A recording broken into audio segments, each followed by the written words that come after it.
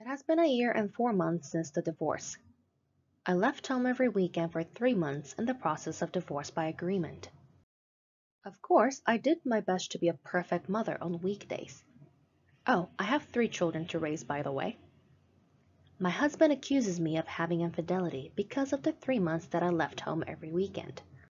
The youngest one is only five years old, and the child keeps looking for the father. I asked him for a reunion because I cannot see my child missing the father anymore.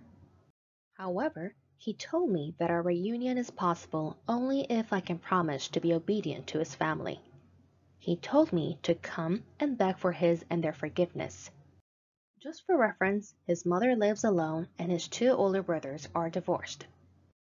Regardless of his suspicion, you are not guilty if you didn't have an extramarital affair. But his suspicion on you having infidelity might be reasonable because you left home every weekend.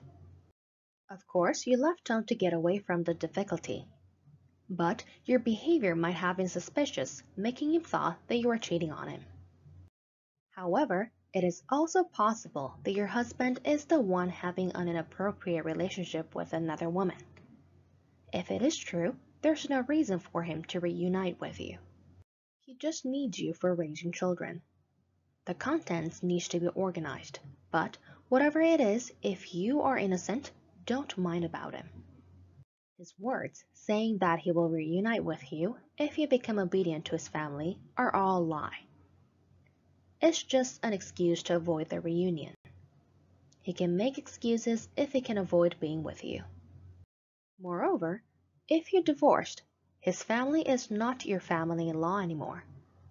When you and ex-husband meet, you two are just a man and a woman, not a husband and his wife.